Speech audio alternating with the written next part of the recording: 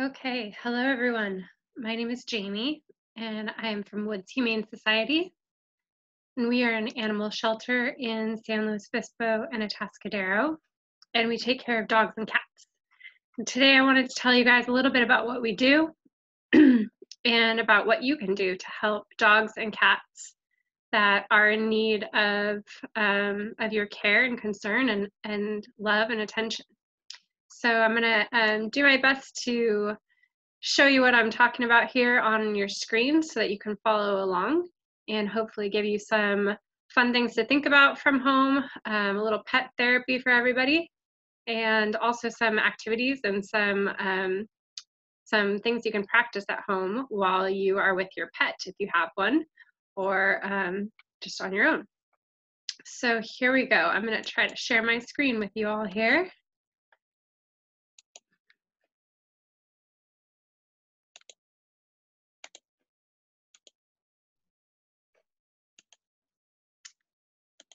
All righty.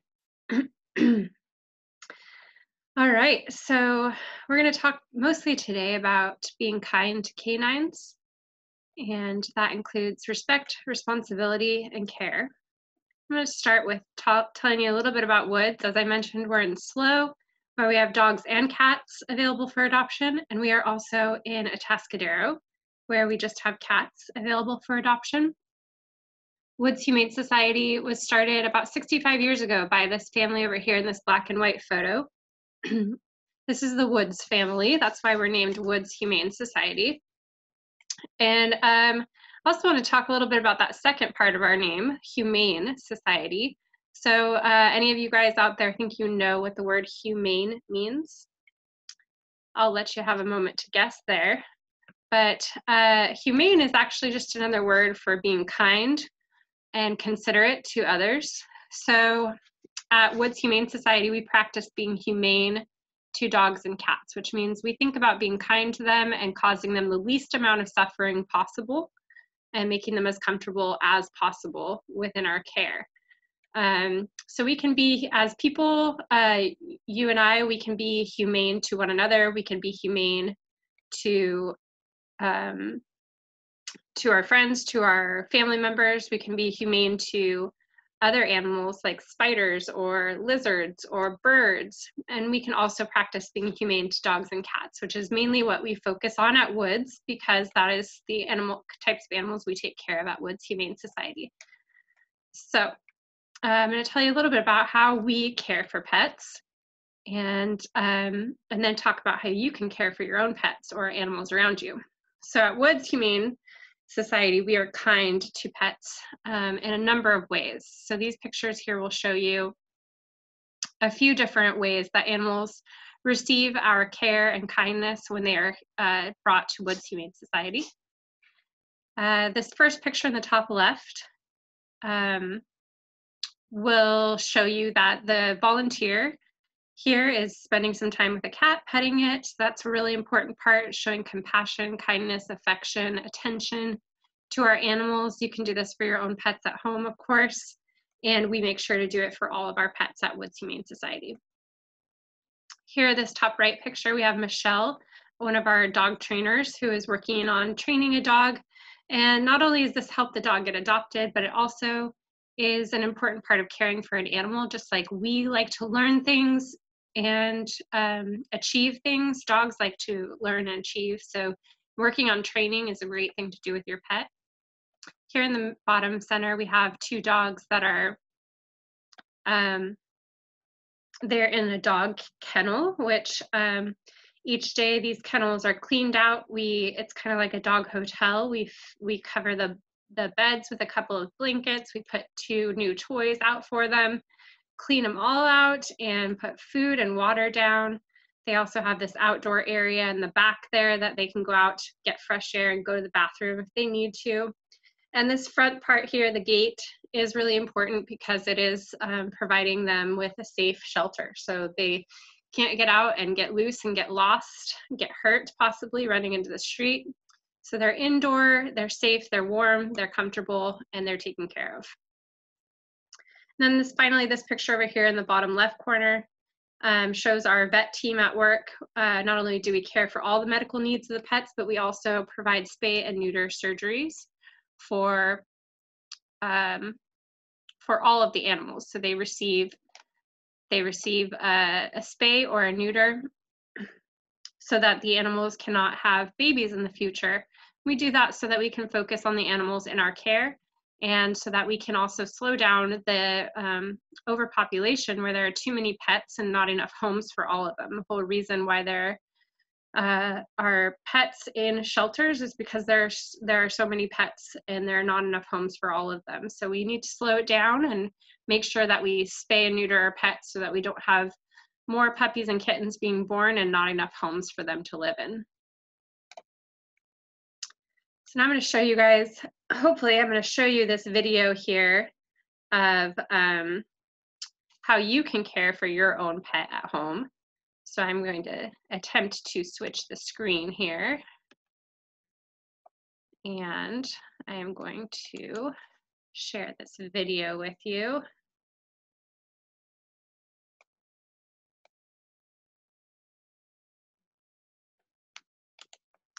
I'm going to try that again. While I'm doing this, you can think of a few ways that you care for, you show kindness and care for your own pet in your home.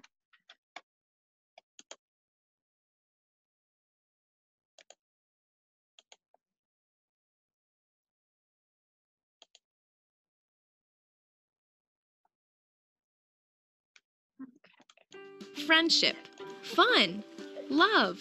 Pets give us so much, but unlike the I'm going to restart that there so that everybody can see. All right. Friendship, fun, love. Pets give us so much, but unlike their wild animal cousins, they can't take care of themselves. Just like kids rely on their parents, pets need people to provide for their basic needs too. We're talking about things like food and water, shelter and identification, potty needs, healthcare, exercise, and grooming. Before bringing home a new dog or cat, there are things you need to know to make sure your pet becomes a happy and healthy member of your family. All pets need food and water. Most animals need to be fed once or twice every day. Find out from your veterinarian or pet supply store what kind of food you should give them. Never ever give your pet table scraps. People food, especially chocolate, may taste good, but it can make your pet very sick. And here's something really important. Make sure your pet always has a bowl of fresh, clean water available so they can get a drink. Next is shelter and identification. If your dog or cat spends a lot of time outside, they need a place to get out of the hot sun in the summer or cold and rain in the winter. A fenced yard with a doghouse or other shelter is great for dogs and provides a safe environment for your pet. It is not okay to tie or chain your dog in the yard. That's called tethering and it is against the law in Miami-Dade County. Remember, dogs are pack animals by nature. Your family is their pack and they want to be with you as much as they can. It's cruel to tie them up and leave them alone outside, and it can lead to aggressive behavior. Animals that are treated like a part of your family are better adjusted and will have a closer bond with you. Did you know that a collar and tag are more than just cool fashion accessories? Your pet can't tell his name or where he lives. So every pet needs a collar with their license tag and an ID tag that they wear all the time. If your pet ever gets lost, that little ID tag is just like their ticket back home to you. Ask your veterinarian about a microchip too. Just like us, pets need a place where they can go to the bathroom. For dogs, that means outside. So be prepared to take them out for frequent walks. And clean up after them. No one wants to step in your dog's poop, so scoop it up and throw it out. Indoor cats use a litter box as a bathroom. And like the bathroom you use, it needs to be kept clean. You want your pet to be around a long time, so don't forget about his healthcare needs. Pets need regular checkups with the veterinarian, just like we need annual checkups with the doctor. If you're bringing home a new dog or cat, one of the first things you should do is to take it to the vet to get a thorough checkup, along with the necessary vaccinations. To keep your pet healthy, give them plenty of exercise. You need to walk, run, or play fetch with your dog every day. It's fun and it's good for them, and for you. Cats, especially if they live indoors, also love quality playtime with you, and they benefit from the workout. Grooming keeps your pet's coat healthy and looking great. Regular combing or brushing helps cats have fewer hairballs and shed less. Dogs should be brushed often and have a bath about once a month. And don't forget to brush their teeth. Seriously, tooth decay can lead to many other health problems. As you can see, pets really need us to take care of them. It's a big responsibility. They need food and water every day, shelter and identification. Don't forget the collar and ID tag a place to go to the bathroom, healthcare, including vet checkups, grooming, toothbrushing, and plenty of exercise. And there's one more thing to add to the list respect and kindness. Just like you, pets have the right to be treated with respect and kindness. They thrive on your attention and affection. So make sure your pet knows how much you love them. Give them plenty of hugs, kisses, ear scratches, and belly rubs. The more love you give, the more love they'll give back to you in return. Once you're ready to get a pet, consider adopting a shelter pet from Miami Dade Animal Services. Hundreds of lovable dogs and cats are looking for loving forever homes, like yours. Brought to you by Miami Dade County Public Schools. Alrighty. I'm going to go back to our main screen there hopefully you guys enjoyed that and saw some familiar sights in that video. Um, but all those elements of caring for a pet, uh, we do at, for all the animals at Woods. We just do that times about 200 animals. And we hope that uh, people who adopt from us and you guys at home with your own pets um, are also practicing those same things. I'm going to talk now a little bit about safety and respect around dogs. So um, one way that we can care and be kind to pets is by um, respecting their feelings and realizing that they do have feelings. So as this picture shows you, this dog um, here, he's kind of curled backwards. He's got his ears back on the back of his head. Um, his head is lowered. Uh, you can't really see his tail here, but I'm imagining his tail is tucked underneath his body. And this is a dog's way of showing you that he's scared. So um, this dog actually doesn't want us to pet him. He's hoping that we leave him alone. So um, one thing that I really hope that everyone can practice and learn after this uh, presentation is that dogs do have feelings. And if we understand their body language a little bit better, and if we think about their feelings and want to respect their feelings, then we can be kind to them and um, listen to them and, and basically hear what they have to say to us. This keeps us safe and it also is kind to the dog. So my acronym to help remember this um, when you're meeting a new dog is pause before you pet. So that's P-A-W-S, like a dog paw, pause before you pet. But um, it's it also sounds like pause as in stop before you pet. So this is how I remember when I see a dog and I get very excited and want to pet it, um, I remind myself to do these four things before I pet. So I first ask the owner for permission. If there's no owner to talk to to ask about if it's okay to pet the dog, then you shouldn't pet the dog at all. Um, so always ask the owner. The owner can tell you if that is going to be okay with the dog, if, if it's going to be safe, if it's a good time, that kind of thing. This keeps you safe. Then you can ask the dog by looking at its animal body language. And we're going to talk a little bit about this and give you some real basics of animal body language so that you can see what your dog or what the dog you're about to meet is trying to tell you before you pet it. The last two steps are to wait for the dog to come to you. So rather than walking towards the dog, letting that dog come to you when it's ready. And then finally to let the dog sniff you. So uh, it's real important to, to um, let the dog ha- have an opportunity to, to, get to know you with its nose before um, before uh, before you pet it. So letting the dog come to you, letting it sniff your relaxed fist, which is something I call doggy paw, just just making a small fist with your hand and, and lowering it down to, towards your side so the dog can reach it and sniff it and get to know you with his nose before you pet. So these are our four steps. We're to start with that second step here, the animal body language.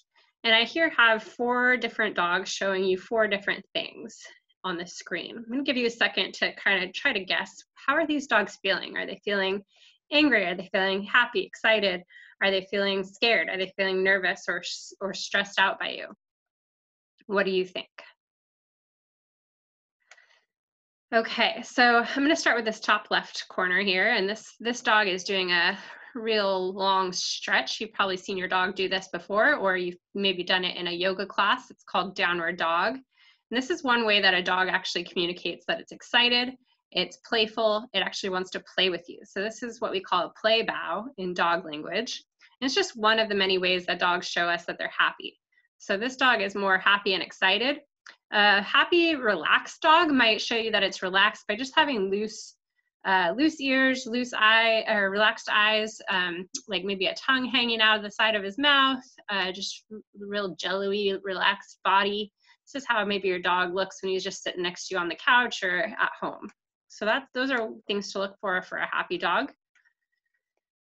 This second one is a scared dog. So just like the picture we saw a moment ago, this dog is feeling scared and it's showing you that by tucking itself up small. I call this roly-poly mode because the dog is curling its tail under, it's making its body curl into a small ball, and it's even its ears are way back on the back of its head. You can see that its eyes are also very large, so we call that whale eye, when the eyes are very large. Excuse me. Finally, we have an angry, or not finally, but here we have an angry dog. And this dog is showing you that it's angry by being big and tough and stiff and tight and frozen like a statue. So this dog is not loosey-goosey and wiggly and um, loose like the happy dog, and he's not curled up small like the scared dog. Instead, he's big and forward and stiff and tight and frozen. So the ears are up on forward on the head, the eyes are staring hard, the mouth is clenched, the muscles are all engaged and ready to go. He's kind of leaning forward towards you. Even the the fur on his back we call this hackles sticking up like a doggy mohawk here. So this dog is in Hulk mode. He's basically trying to make himself look as big and as intimidating as he can so that you can see that he is not happy and that you stay away. If the dog got even more angry, he might show his, his teeth in his mouth. And that's a way that dogs um, either growl or silently bare their teeth and try to tell you, hey, here are my teeth. I don't want to have to use them. Do you see them? please stay away from them. Okay, so dogs are trying to communicate with us. We just have to listen. Then finally, this dog in the bottom right corner is our stressed or uneasy dog. So this dog is licking his nose. Um, other things that dogs might do when they're feeling stressed is they might yawn a lot, they might itch or shake, they might ignore you, they might um, pant a lot. So these are ways that dogs show you that they're kind of uncomfortable in the setting. So maybe there's some loud noises going on. Maybe there's it's a new place that they've never been to. Maybe it's a large crowd. Maybe you have too many friends over and it's just getting out of hand and they're feeling stressed about it. Or often dogs will feel this way like the, if they're at the vet's office or something at the veterinarian. So these are things you can look for as well. So I'm gonna um, show you this video now. This shows you guys um, all those four steps in kind of a different way, the pause before you pet, um, so that you can uh, take a look at, at how this would look if you were meeting a dog for the first time in real life. So I'm going to share this with you.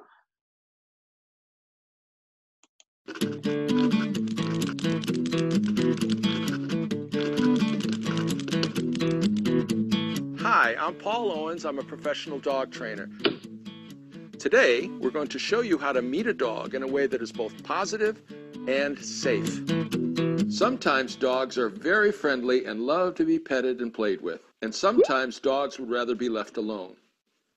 Because dogs can't talk, we have to ask the person they're with whether their dog is friendly or not. If the dog isn't with a person, the best thing to do is leave them alone. Here are some things to remember when meeting a dog for the first time. A. Ask permission. B. Take a gentle breath. C. Then walk along the letter C. I'll explain all three. Walk toward the person and dog, but stay about six feet away. For a kid, six feet is about six big steps. Then ask politely. May I pet your dog? Sure, she's really friendly. Great, you have permission. Next, Take a gentle breath. so that you are relaxed and because that will help the dog relax too. Some dogs get afraid when people walk straight up to them. So pretend there is a letter C on the ground and walk toward the dog around that letter C. It's almost time to pet the dog. But first, turn sideways because that's less threatening. Let the dog sniff your hand and then give him a gentle scratch under his chin. As huggable as some dogs seem, most dogs don't like hugs, so just stick to the petting. If the person says it's okay, you can pet him on top of the head. Good job! Now you can enjoy petting your new dog friend. So remember, treat dogs as you would like to be treated. Be kind, be friendly, be positive, have fun, but most of all, be safe.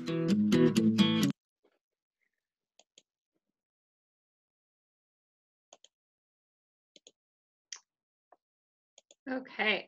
so that was a good video to see how how to meet a new dog. Um, one thing I'd like to add to that is just that the the girl in the video walked toward the dog on that letter C shape, which is fine. Um, but what I do prefer, what I tell people to do is just wait where you are. So as you remember in that pause before you pet, the W step is to just wait where you are and let the dog come to you when he's ready. And that's always a really great way to make sure that the dog is feeling comfortable before you reach out um, to, to touch the animal. So if he comes over, let him sniff the dog, let, let him sniff your, your doggy paw. And um, after he sniffs you and seems comfortable, you can um, be looking at his body language that whole time. If he seems comfortable, go ahead and pet right underneath the head. That's a great spot. Um, the back is also a good good spot, but you want to avoid right over the, the head, right over the edge of the eyes. Okay. I am going to play a little bit of this video here so that you guys can see some of the different ways that animals show this body language, and then we're going to have a little quiz afterwards. So let me see. First, I'm going to go ahead and get this to the right spot and I'm going to share it.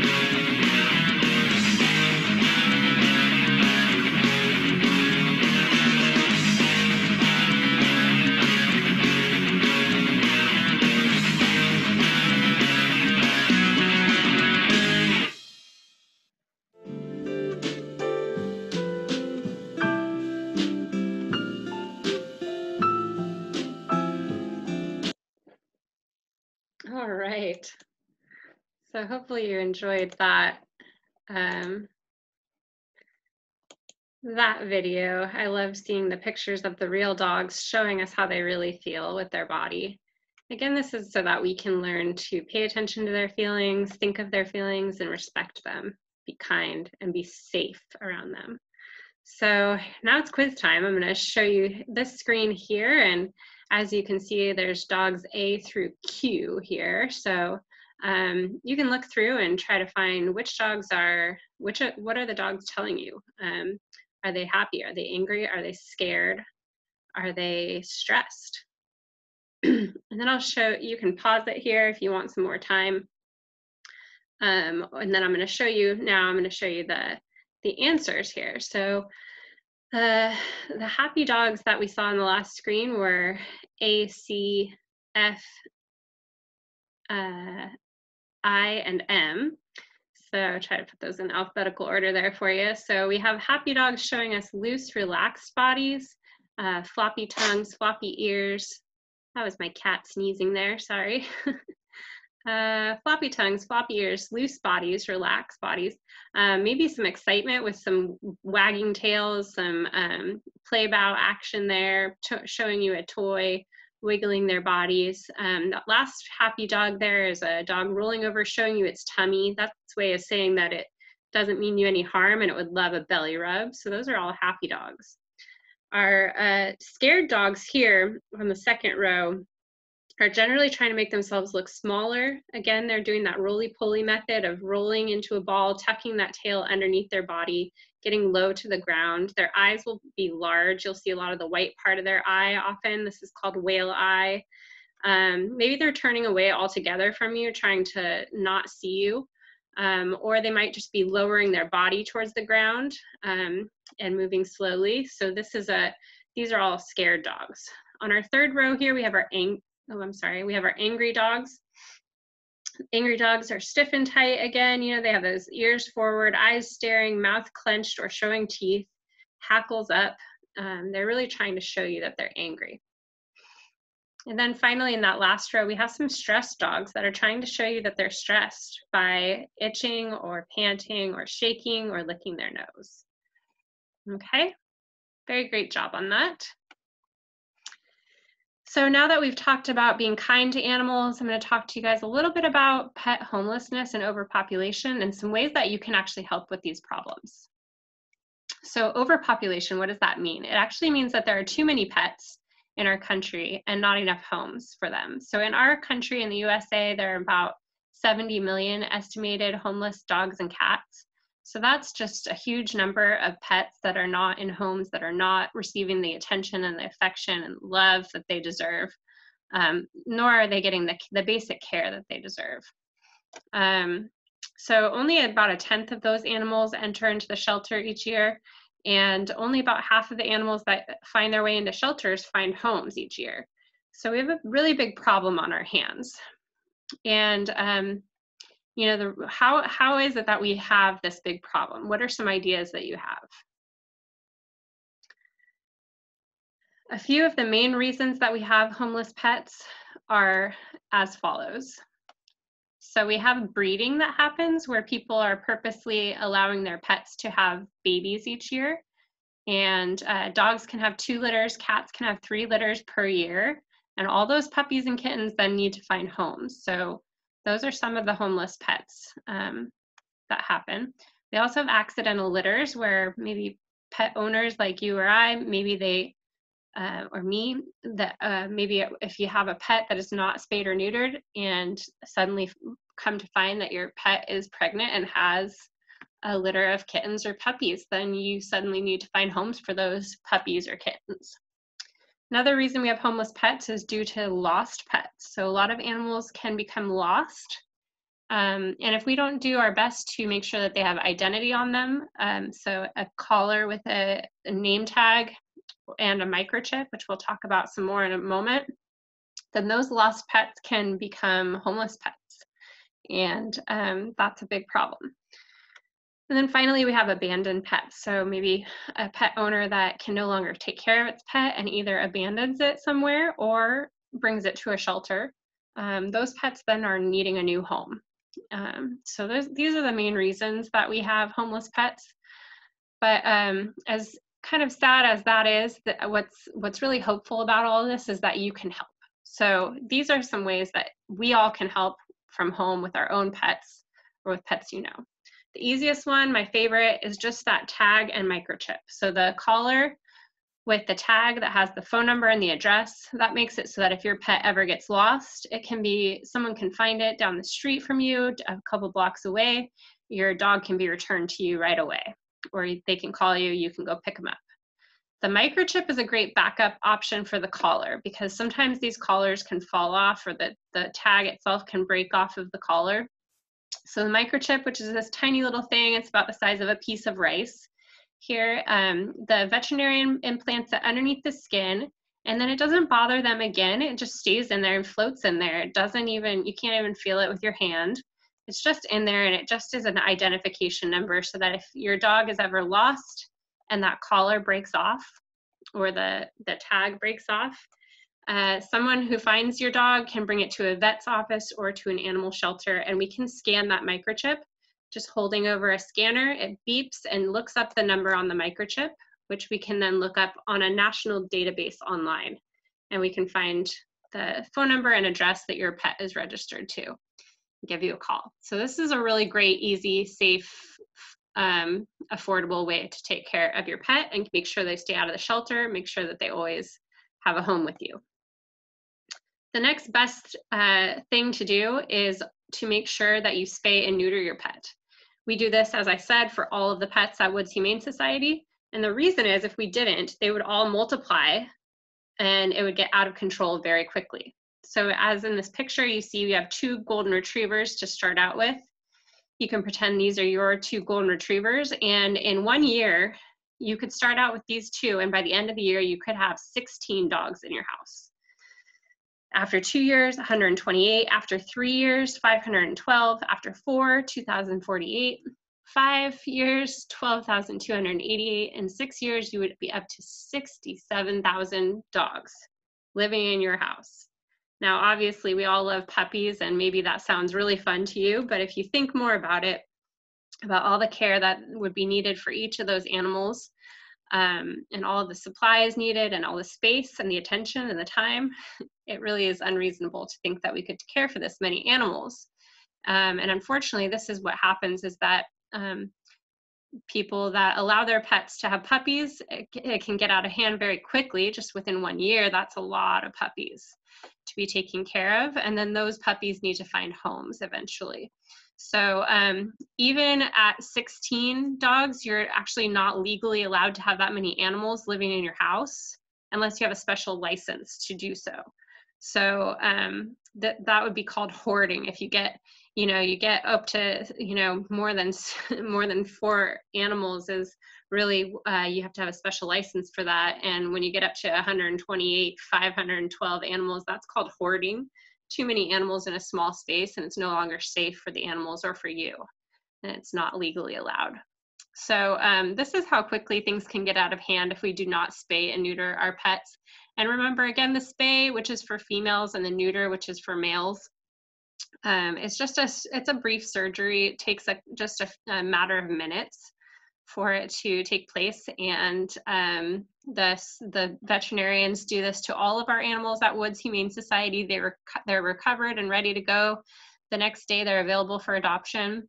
And it really just makes it so that this this whole pyramid of puppies does not happen for each of the puppy each of the dogs that we're taking care of at Woods.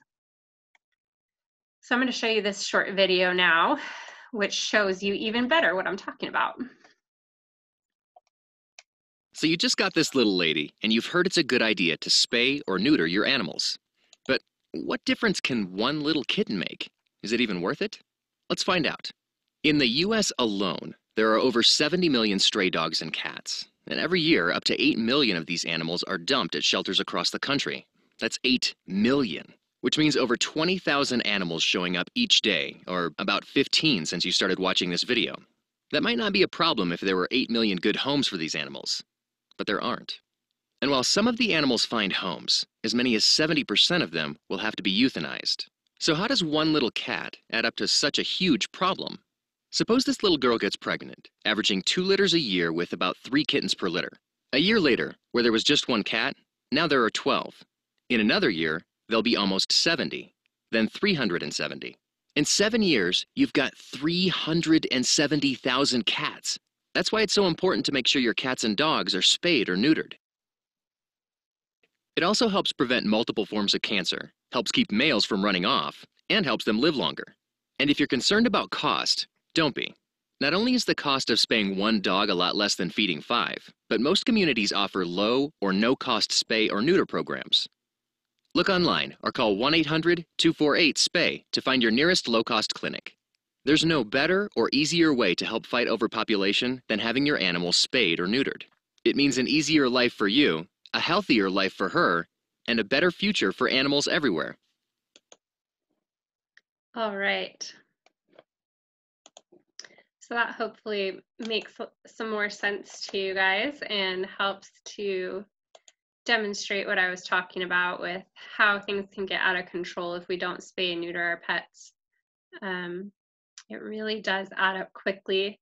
And um, we see this around in our own community with uh, if you've ever seen stray kittens or cats in your neighborhood, um, if we don't spay and neuter those those cats, they'll have babies, two to three litters of babies each year, and um, and then those kittens will be stray and um, probably suffering. So it's a real important thing to um, to spay and neuter. So you can check out this website, spayslowcounty.com. That's uh, will take you to Woods Humane Society's clinic if you want to set your pet up for a spay or neuter. And um, now I'm going to tell you guys like a few more ideas to think about before you adopt a, a pet or um, think about uh, getting a new pet. A few things to think about that that might help to make sure that your pet doesn't end up being homeless in the future is to think about if you have enough money to care for your dog for its whole life. Um, so that's a fun activity you can do if you want. You can make a list of um, pet supplies that you would need if you were going to adopt a dog today and try to figure out or estimate how much each of the supplies would cost and whether you have enough saved up to do to go buy all those things.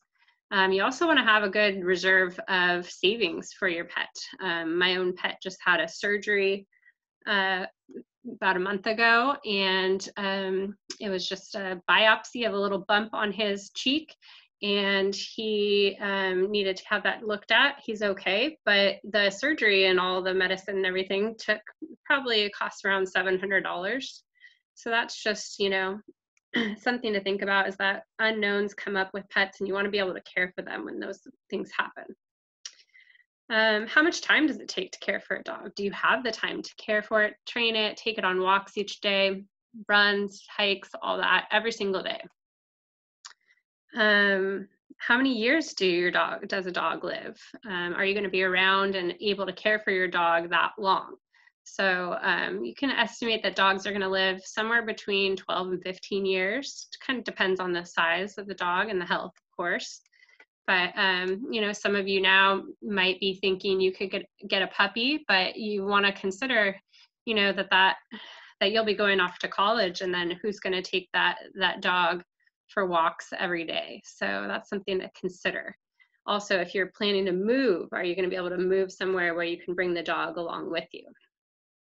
You also want to think about your lifestyle and if it fits the kind of dog that you're looking for. So a lot of people, for instance, really like border collies and huskies, um, really high energy, smart dogs. And these kinds of dogs are not going to like to just hang out at home on the couch all day watching TV or video games with you. So um, if you are more of a, a stay-at-home type person, you're probably going to want to find a dog that's more fitting to that lifestyle. These are some things to consider before you adopt. So here's a little review of how you can help. So um, make sure that if you have a pet, you have a collar on them with an ID tag. Get them microchipped or make sure that they are microchipped. Check your uh, that you have secure housing, fencing, around your house that your dog or cat cannot escape and get lost and become a homeless pet possibly. You can also make sure that you're not adding to the equation. So make sure that your pet is spayed or spayed or neutered or set up an appointment to get them spayed or neutered. That way we're not adding to the 70 million homeless pets each year. And you can also adopt instead of shopping at a pet store or at a breeder. Um, you can go to Woods Humane Society or any animal shelter and adopt a dog or cat that is already looking for a home. That way you're really helping an animal that's already in need. Uh, make sure that you get care for your pet its whole life. Uh, that's another way you can help so that it doesn't end up in the shelter. And then of course you can volunteer and just be kind to other dogs that you meet. So um, I do want to take you guys over to, to our website. Um, once everything's up and running again, we do have camps, we do have youth volunteer programs, and um, lots of ways that you can get involved. So I'm going to bring you guys over to our website.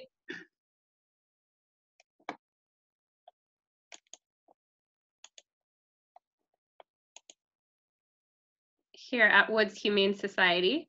Um, if you look just just down a little bit, you see youth programs here. And this is where you would go to check out what we've got going on and to register. So we have, as you can see on this left-hand side, you have youth volunteer programs, which we usually have after school um, throughout the school year. Community service projects, these are some great ideas that you guys can do from home.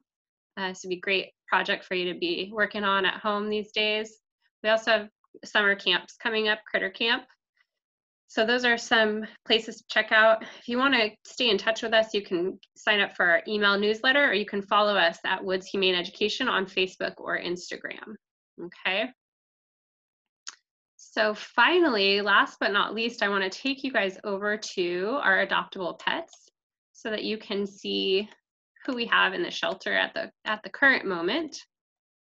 And I'm going to click on our San Luis Obispo location, which has both dogs and cats.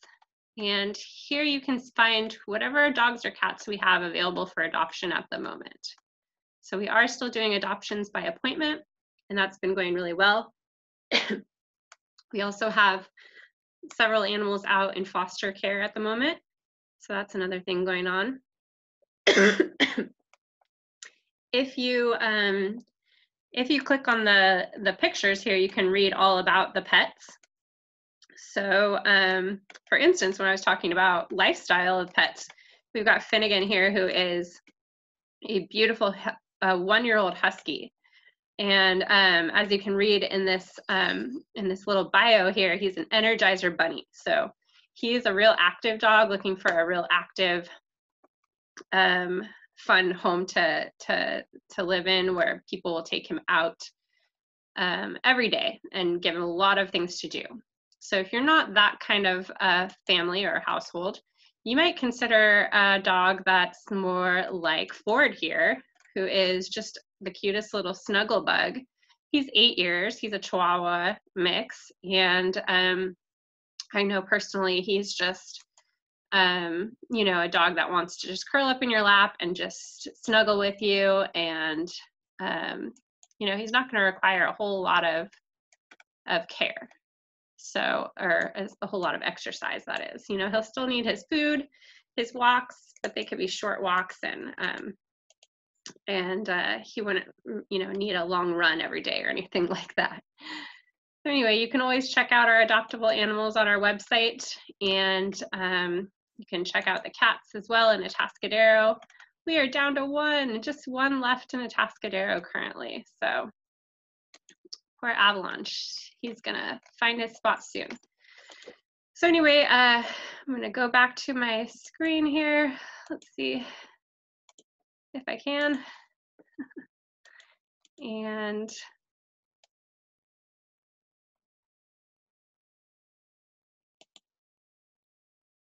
oh.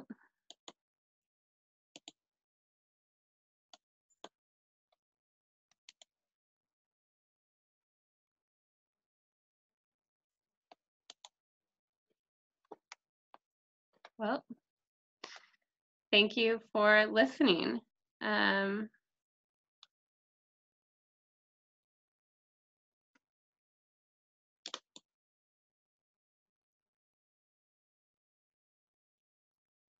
all right.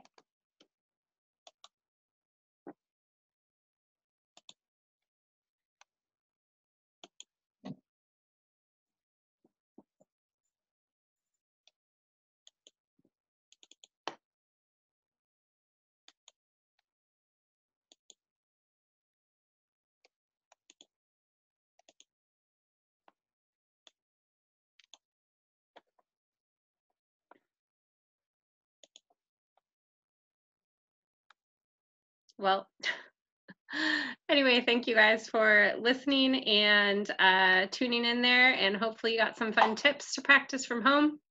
Um, let's see if my Ollie here will come to say hello. I don't know if he will. So uh, I'll lower this down to him.